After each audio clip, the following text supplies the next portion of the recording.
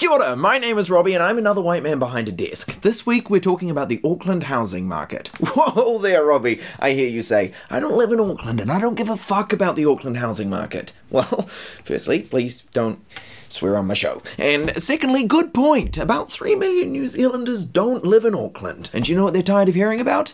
It's Auckland. Uh, and even though this issue actually affects all New Zealanders, whenever I say the word Auckland in this video, I give you permission to do this.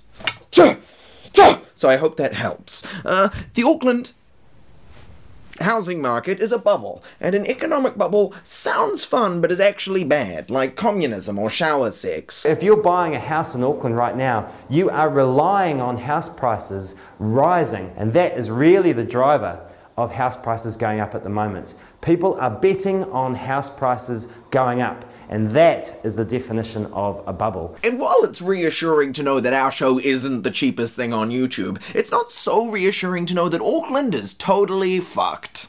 As you'd expect, crazy left wingers have been pushing the national government to do something. People have said home ownership is now only for the privileged few, but of course David Seymour would say that because the ACT Party are a bunch of communists. And then this other group was like, the government should widen New Zealand's tax base for capital gains, which surprised no one because everyone knows the IMF is full of dirty hippies.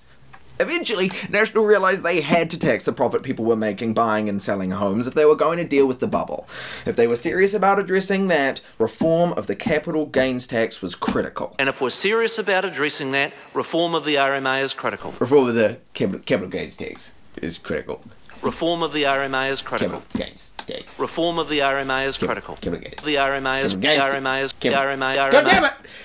Instead of introducing the capital gains tax, uh, National decided to solve the housing crisis by attacking the Resource Management Act, which would have been a great plan if not for a slight problem. As Gareth Morgan noted in the National Business Review, the housing crisis has nothing to do with the Resource Management Act. To be fair, building houses without giving a shit about the environment might increase the housing supply in the short term, in much the same way that if a flood is coming into your house, punching holes in the floor might help with the water problem. Uh, it won't stop the flood and you can't live here anymore, but there is technically less water inside the house. Uh, meanwhile, Labour discovered that instead of saying investors are driving up house prices, you could just say foreign investors are driving up house prices. And that way, you only piss off people who can't vote. Unfortunately, we don't know how many of the people investing in our houses are foreigners, because National believes that what we don't know can't hurt us is a valid basis for economic policy. But Labour didn't feel they should be held back by pesky constraints like uh, lack of any evidence or the basic rules of mathematics, and began making up how many foreign investors there were by randomly writing numbers down like a child with a Sudoku. For those of you who don't know, uh, Phil Twyford looked at the names of some homebuyers in Auckland and said, lots of these names are Chinese, and not that many Aucklanders have Chinese names, so lots of these people must be foreign. And Labour said they weren't being racist, they were just making crude assumptions about people based on their perceived ethnicity, which is actually the definition of racism.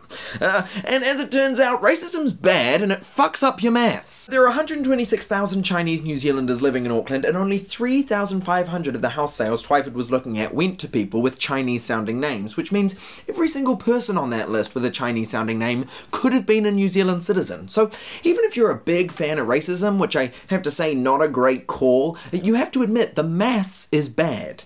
And to all the crazy ra- racists who clicked this video because it had white man in the title, let's be clear. Uh, the ethnicity of investors does not affect the housing market. Foreign investment is less helpful to New Zealand than local investment, but ethnicity is not relevant. I'm sure a lot of property investors are also born in Capricorn. That's not a reason to tell people from January to go back to the month they came from.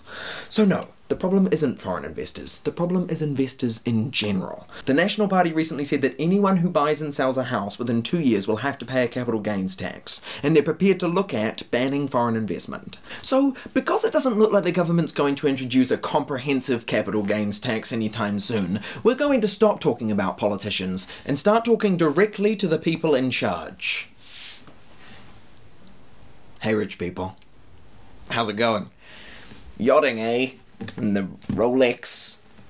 I see inequalities getting worse, or as your people say, I, I see inequalities getting better. Any, anyway, rich people, uh, we've heard you've been gambling with our houses, which which sounds just so much fun. Uh, but the problem is people live in those. Well, I mean, a lot of people don't, but the, a lot of people would really like to. And I know you're making $1,000 a day just by owning them, and the Reserve Bank encourages commercial banks to support property investment, and the lack of a capital gains tax means it's just clearly the best place to put your money. Uh, but what if, instead, you bet on a game of checkers?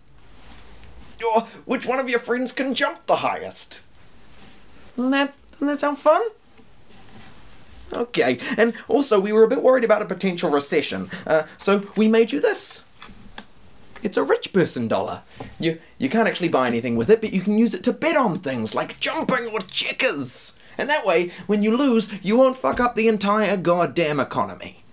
Doesn't that sound fun? Okay. There you go, New Zealand. Problem solved.